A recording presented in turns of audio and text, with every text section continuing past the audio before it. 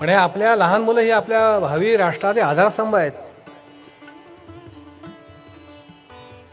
मग नीती संपन्न चारी संपन्न ऐश्वर संपन्न होण्यासाठी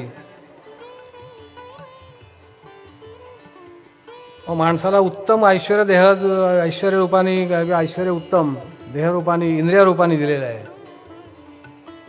लहान वयात इंद्रियांना उत्तम विचाराची शिकवण मिळाल्यास माणसाचे सर्वतोपरी कल्याण होईल. मानवी धर्म तिथे उभा राहील. त्यासाठी लहान वयामध्ये बालसंस्कार होणं हे फार महत्त्वाचं आहे. आता ह्या वयामध्ये आता मध्ये एकदा मुंबईला गेलो होतो आम्ही एक काम होतं. आता काय सांगायला हरकत नाही. ते एक गुल्ला मुलगा तिथे गल्लीमध्ये बारीक मुलगा होता हो. सिगरेट ओढत होता. सहज बघितलं मी आता हे हे जा आता ह्याच्या पुढे हे तर ही मुलं काय करतील आपलं? काय कसं काय आपलं पुढचं राज्याची अवस्था आपली किंवा देशाची अवस्था मानवाची अवस्था पुढे काय होईल?